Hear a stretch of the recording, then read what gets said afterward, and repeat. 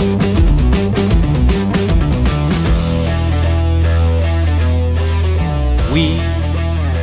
are the champions, my friend.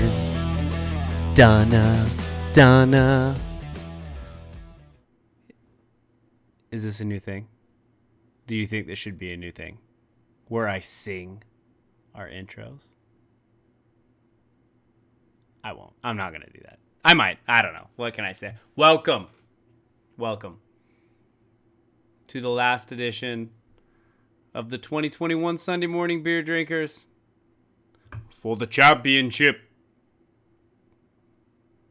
I'm so glad to have you. It's been a really, really, really interesting season, hasn't it?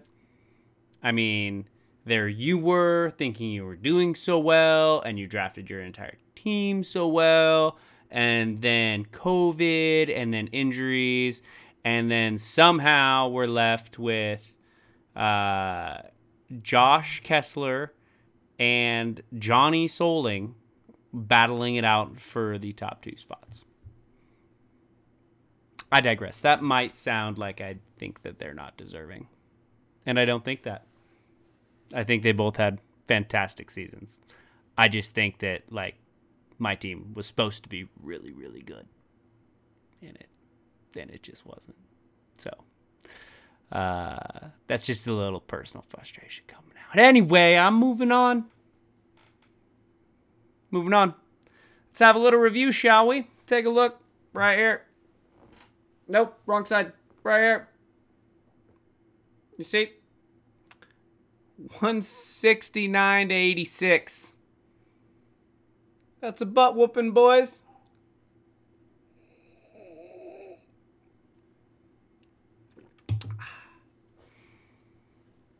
Man, did Kessler come with some fire. Jamazing Chase in our league put up 44 points. Throw on top of that a little Dak Prescott magic, a bunch of running backs scoring in the double digits. He also has Cooper Kupp, who hasn't sucked for the entire year in the Green Bay Packer defense. Didn't lose the game. So, that leaves Johnny with, uh, what's your rebuttal, Johnny? And he says, well, I have um, Ezekiel Elliott. And I have uh, DeVante Parker? Question mark. Okay, so as you can see, the final was rather one-sided. So I would like all of us to go ahead and celebrate Josh Kessler.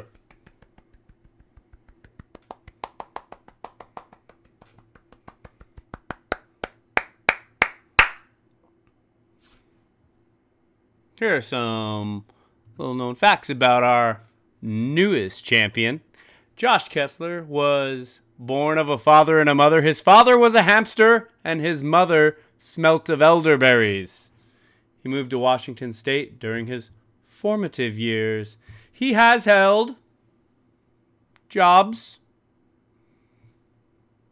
is a card carrying member of the Millennial Snowflakes. He's an avid co ed recreational softball player and has dabbled in professional bowling. He's never competed in an eating contest officially, but he also doesn't lose. He's currently in college, pursuing a double major in the mathematical probabilities of the four way parlay and gender equity studies. Josh Kessler has many great traits. The first being his dog. That's a great dog. That's such a good dog. What a good boy. Who's a good boy? Oh, who's a good boy? Easy, you are. He's a good boy. The second being the beard that he had one time. His beard has gone through many transformations, which I will illustrate for you here. But I think its crowning achievement was this photo that was documented on a chairlift in the dead of winter. You can see that it is both full, angular, and strong.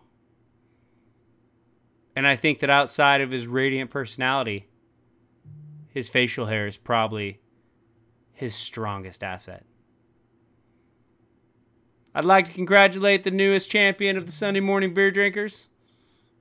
The first time he's etching his name on that big old badass trophy. He's gonna have to fly up here to have us a drink. So, make sure that you're at the party. I'm gonna coordinate with him, find out what time's good, when he's gonna be back in the area, and then we're all gonna get together and have us a little shindig. It bears mentioning that the rest of the people, there are other people that finished in, uh, you know, decent places, as in like second, which was the often bridesmaid but never the bride, Johnny Solik, and the newest addition to the Sunday morning beer drinkers, the Wild Salmon, happily coming in third, and I'm sure m- at least making their money back. I'm sure they did. Uh, so, grats. Grats to everybody. Thank you for a great season. Uh, I love you. I hope you're all well and healthy, and I cannot wait to do it again. Let's get together this uh, in, a, in a month or two. Let's drink some beers, eat some good food, and then obviously I will see you at the draft party sometime next year. Well, this year, later this year, after summer, in August or September ish. Cheers, friends. See you later.